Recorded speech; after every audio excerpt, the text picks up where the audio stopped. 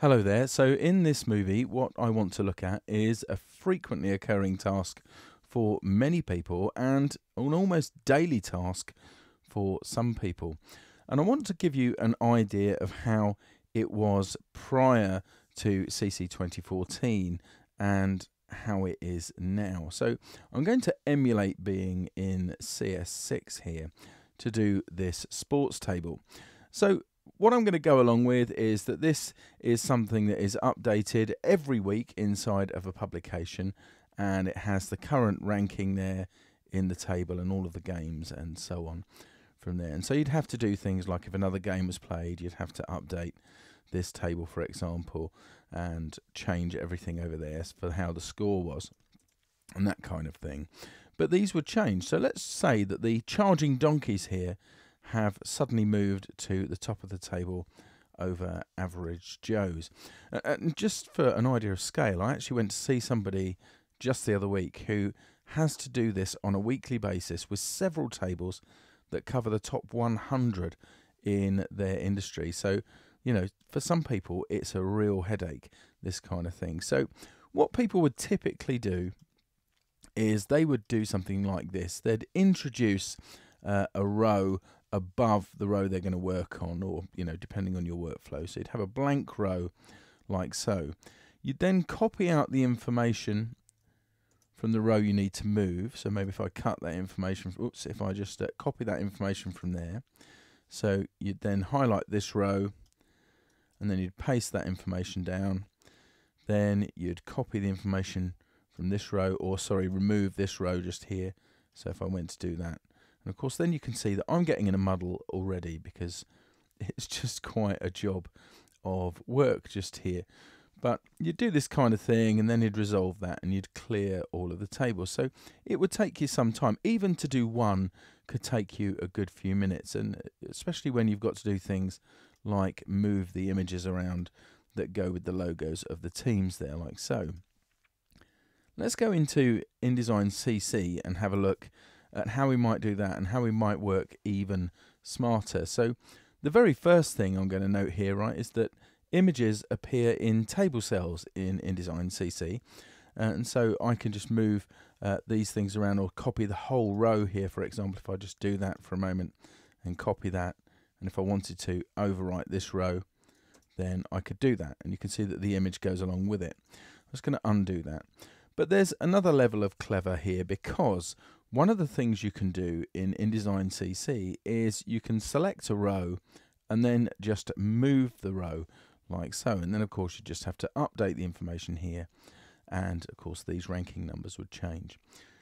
So when I was looking at this with the person that had to do uh, really, really big tables with this, and it takes her a significant amount of her day to do this, she asked, is there a way for me to do these numbers automatically, right? Because everything else is fair enough. That's just new data, right? But is there a way for me to do this stuff automatically? Just to take one more thing out of that.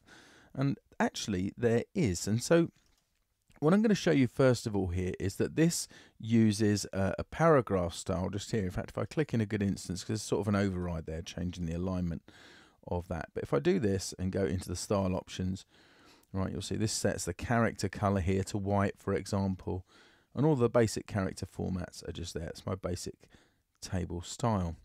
So what I'm going to do is I'm going to create a new style based on that, but it just does one thing. It creates a list. So if I come along and choose new paragraph style, then I'm going to call this a auto number. There like so. You can call it, of course, whatever you like. But it's based on the basic table style. And now I'm going to come down to bullets and numbering. And then I'm going to change the list type here to numbers. Okay. And once I've done that, so by default, this will add in a tab after a period and the number just there. So I'm just going to back that up. Okay. And so I'm just going to get the number and make sure continue from previous is on. And that's actually it, right? That will just generate a number. So if I click OK, I've now got a style that will do the work for me. So what I need to do is apply it. Now obviously it needs to have something. In fact, if I selected that whole uh, row just there, I could actually do that and I could even make it part of a cell style, but that's not what I'm after. So you can see that it's got those things. The numbers are appearing in front. I'm just going to undo that. Right, so I need something there to hold that, and so I'm going to use a space character to do it. And so to replace these numbers, remember I'm working along uh, the example that someone who has 100 rows in their table isn't going to want to do all of this in one go. So let's try and do find and change to do that. So if I just do Command F here, Control F of course on the PC, and go to grep, then I can get it to find things. So the first thing I'm going to get it to do, I'm going to get it to find me any digit just there. And then I need a pattern for that. So this is where these match and repeat patterns come in. So I'm going to say zero or more times. Okay, so that's how that looks as a grep query.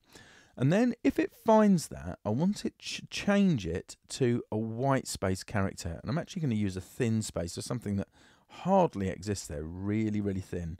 And that's the grep for that. Finally, I'm going to change this to selection because I'd have that column selected just there. So that's what I want it to search for. So I'll do find next, and it's searching that. And if I just carry on, you can see it's finding exactly the right thing.